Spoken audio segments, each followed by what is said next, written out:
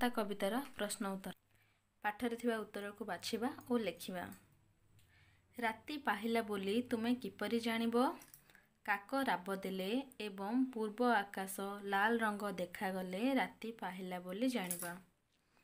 ଖ ନମ୍ବର ପକ୍ଷୀମାନଙ୍କ ଗୀତ ଶୁଣିଲେ କ'ଣ ହୁଏ? ପକ୍ଷୀମାନଙ୍କ ଗୀତ ଶୁଣିଲେ ମନ ଖୁସି ବା ଆନନ୍ଦିତ ହୋଇଯାଏ। ଗ ନମ୍ବର ଘାସ ଉପରେ ପଡ଼ିଥିବା କାକର ବିନ୍ଦୁ କିପରି ଦିଶେ? ଘାସ ଉପରେ ପଡ଼ିଥିବା କାକର ବିନ୍ଦୁ ଇନ୍ଦ୍ର ନୀଳମଣି ଅର୍ଥାତ୍ ସବୁଜ ରଙ୍ଗର ମଣିଷ ଦୃଶ୍ୟ ଦେଖାଯାଏ। ସୁନାବନ ଶୋଭା ବୋଲି କବି କାହାକୁ କହିଛନ୍ତି? ସକାଳର ପ୍ରଥମ କିରଣ ଯେତେବେଳେ ଅରଣ୍ୟରେ ପଡ଼ିଥାଏ ତାହା ଗଛର ପତ୍ର ଫାଙ୍କ ଦେଇ ଭୂମିକୁ ସ୍ପର୍ଶ କରିଥାଏ। ସେହି ସମୟରେ ସାରା ଜଙ୍ଗଲ ବା ଅରଣ୍ୟ ସୁନା ପରି ଚମକି ଉଠିଥାଏ। ତେଣୁ ତାହାକୁ ସୁନାବନ ଶୋଭା ବୋଲି କବି କହିଛନ୍ତି। ଓ ନମ୍ବର ଆକାଶ ଓ ପୃଥିବୀ କାହାର ମହିମା ପ୍ରଚାର କରନ୍ତି? ଆକାଶ ଓ ପୃଥିବୀ ଈଶ୍ୱରଙ୍କର ମହିମା ପ୍ରଚାର କରନ୍ତି।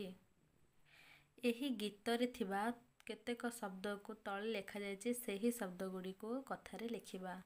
ବହଇ ବହେ ମହକଇ ମହକେ ପତର ପତ୍ର ଭକତି ଭକ୍ତି ଚହଟଇ ଚହଟେ ନିମ୍ନଲିଖିତ ଶବ୍ଦଗୁଡ଼ିକର ବିପରୀତ ଶବ୍ଦ ଲେଖିବା।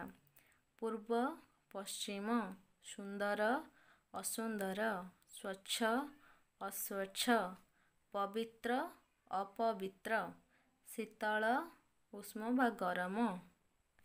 କେତେକ ଯୋଡ଼ି ଶବ୍ଦ ଲେଖିବା ଯେପରି ଡାଳେ ଡାଳେ ଉଠ ଉଠ ଝର ଝର ବିନ୍ଦୁ ବିନ୍ଦୁ ମିଠା ମିଠା। ଉପଯୁକ୍ତ ଶବ୍ଦ ବସାଇ ଶୂନ୍ୟସ୍ଥାନ ପୂରଣ କରିବା।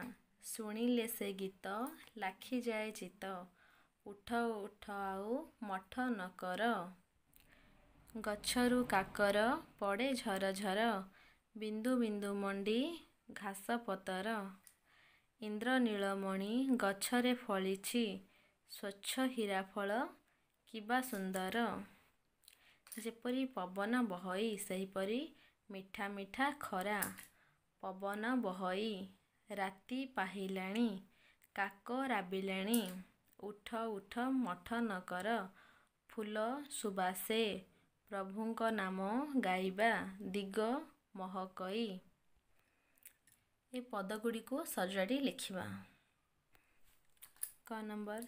ରାତି ପାହିଲାଣି କାକ ରାବିଲାଣି ପୂର୍ବ ଆକାଶ ସିନ୍ଦୁରମୟ ବହଇ ଶୀତଳ ପାହାନ୍ତା ପବନ କି ସୁନ୍ଦର ଆହା ଏହି ସମୟ।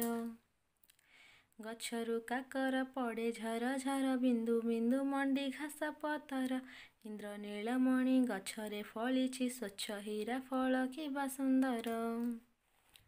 ଏ ନୀଳ ଆକାଶ ସୁନ୍ଦର ପୃଥିବୀ ଯାହାଙ୍କ ମହିମା ପ୍ରଚାର କରେ ସେ ପ୍ରଭୁଙ୍କ ନାମ ଚାଲ ହେ ଗାଇବା ଏ ପବିତ୍ର କାଳେ ଭକତି ଭରେ। Thank